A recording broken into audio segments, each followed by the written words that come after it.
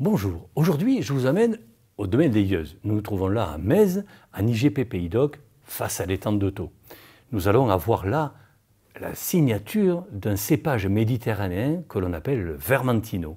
Ce Vermentino, il va nous amener dans une élégance et une, vraiment une fraîcheur remarquable. Nous allons découvrir sa robe par de belles larmes qui ruissellent le long du verre, va nous donner certainement la belle longueur en bouche. Cette bouche euh, va être certainement généreuse. La robe de ce vin, elle est lumineuse et claire.